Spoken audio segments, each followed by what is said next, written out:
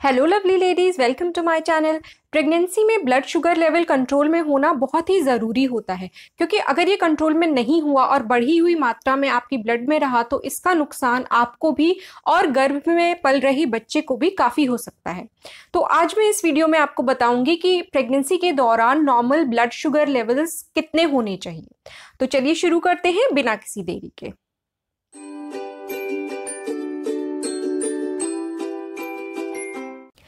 कई बार ऐसा होता है कि जिन महिलाओं को पहले कभी डायबिटीज़ की शिकायत नहीं रही, यानी कि उनके ब्लड शुगर लेवल्स हमेशा नॉर्मल रहे हैं, उनके साथ ऐसा हो सकता है कि प्रेगनेंसी के दौरान, यानी कि जब वो प्रेग्नेंट होती हैं तो ब्लड शुगर लेवल्स बहुत बढ़ जाते हैं और डिलीवरी होने के बाद, बच्चे की डिलीवरी होने के बाद ये जो शुगर लेवल्स हैं, ये अपने आप नॉर्मल आ जाते हैं। यानी कि उन्हें प्रेगनेंसी के दौरान डायबिटीज़ हो जाती है तो इसको जेस्टेशनल डायबिटीज़ कहा जाता है। अब इसके गर्भवती महिला के ऊपर भी प्रेग्नेंट लेडी के ऊपर भी और गर्भ में पल रहे बच्चे के ऊपर भी बहुत ज़्यादा बुरा असर इसका पड़ता है। इस पर मैं एक वीडियो पूरा बना चुकी हूँ। कल ही मैंने पोस्ट किया था। उसका लिंक मैं आपको डिस्क्रिप्शन में दे दूँगी। उसमें मैंने आपको जेस्टेशनल डायबिटीज़ के लक्षण भी बताए हैं, यानी कि क्या सिम्टम्स होते हैं अगर आपको प्रेगनेंसी में डायबिटीज़ हो गई है। और साथ ही ये भी बताया है कि इसका बुरा असर आपके बच्चे पर और आपकी खुद की सेहत पर क्या पड़ता है। तो इस वीडियो का लिंक आपको डिस्क्रिप्शन में मिल जाएगा। आप वहाँ देख सकते हैं बाद में। तो आज इस वीडियो में हम बात करेंगे मेनली ब्लड शुगर लेवल्स कितने होने चाहिए प्रेगनेंसी के दौरान।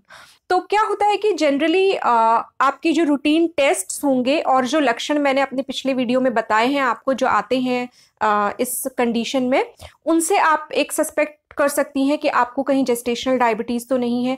उसके अलावा आपका प्रेगनेंसी में शुरुआत में भी कुछ रूटीन टेस्ट होते हैं, जैसे कि आपका यूरिन टेस्ट होगा, आपकी यूरिन में ग्लूकोज लेवल भी चेक किया जाता है। तो अगर वो बढ़ा हुआ मिलता है तो उससे भी ये सस्पेशन होता है कि आपको कहीं जेस्टेशनल डायबिटीज़ तो नहीं है। अब इसका प्रॉपर डायग्नोसिस बनना बहुत ज़रूरी होता है और प्रॉपरली आपकी ब्लड शुगर लेवल्स को प्रेगनेंसी के दौरान मॉनिटर करना ज़रूरी होता है।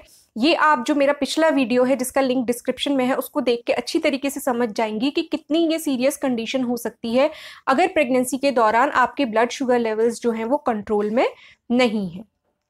अब इसके लिए क्या होता है कि ज़्यादातर महिलाओं में जो जेस्टेशनल डायबिटीज़ होती है वो डेवलप होती है ट्वेंटी फोर्थ वीक से twenty eighth week of pregnancy में।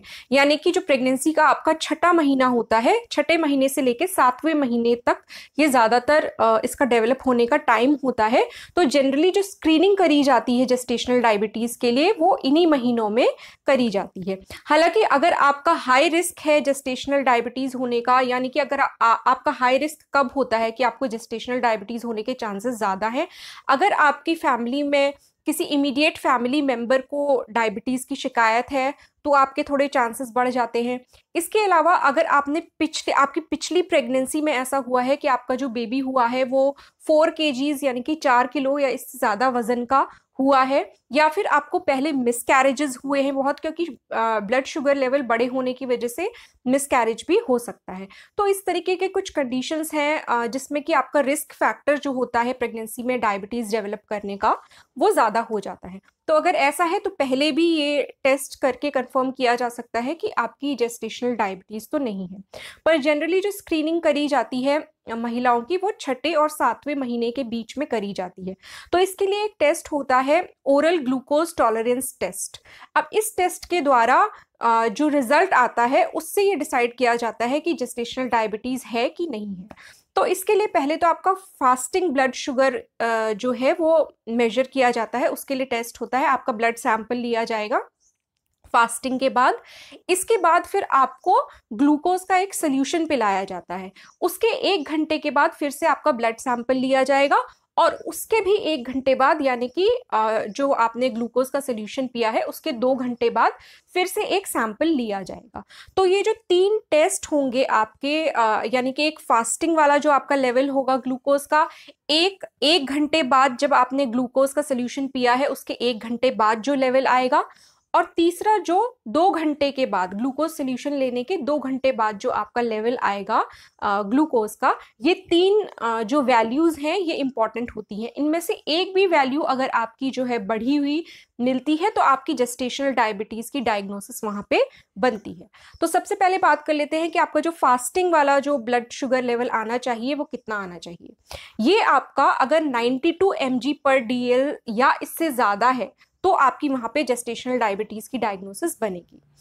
और अगर आपका जो अब बात कर लेते हैं, आपका जो नेक्स्ट जो वन आवर के बाद, यानी कि एक घंटे के बाद वाला जो लेवल है ग्लूकोज सोल्यूशन लेने के एक घंटे के बाद, वो लेवल आपका 180 या उससे ज़्यादा है अगर 180 mg पर डीएल या उससे ज़्यादा अगर आया है तो आपकी जेस्टेशनल डायबिटीज़ की डायग्नोसिस वहाँ पे बनेगी। और तीसरा जो वैल्यू आपकी आएगी वो है ग्लूकोज सोल्यूशन लेने के दो घंटे बाद।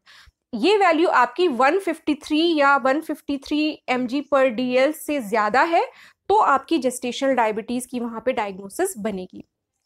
तो ये जो तीन लेवल्स हैं ये आपके आ, फास्टिंग वाला 92 से कम होना चाहिए आपका एक घंटे बाद वाला जो लेवल है वो 180 से कम होना चाहिए और दो घंटे बाद वाला जो लेवल है वो 153 से कम होना चाहिए।